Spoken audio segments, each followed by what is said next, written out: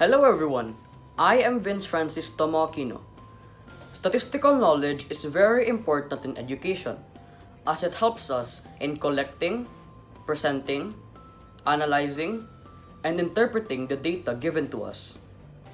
It also helps us students in creating and drawing a conclusion about a certain and specific problem.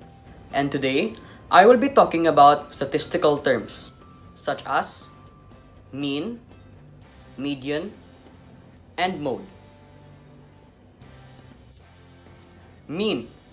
The mean is the average of a set of numbers. To find the mean, you must first add together all of the numbers in a set. And second, you must divide the total by how many numbers were added. For example, 1 plus 3 plus 6 plus 9 plus 11 plus 12 plus 14 equals 56. Then, 56 divided by 7 equals 8. Therefore, the mean is 8. Median.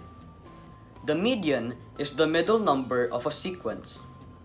To find the median, you must first organize the set of numbers from smallest to largest.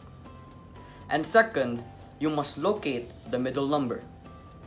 For example, 2, 3, 5, 6, 7, 8, 10, 13, 14. Therefore, the median is 7 because 7 is the middle number in this sequence. Mode. The mode is the number that occurs most frequently. To find the mode, you must first organize the list of numbers from smallest to largest. And second, you must locate the number that appears in the list most often. For example, 1, 2, 2, 3, 4, 4, 4, 5, 7, 7, 8. Therefore, the mode is 4 because the number 4 is the number that occurs most frequently in the sequence.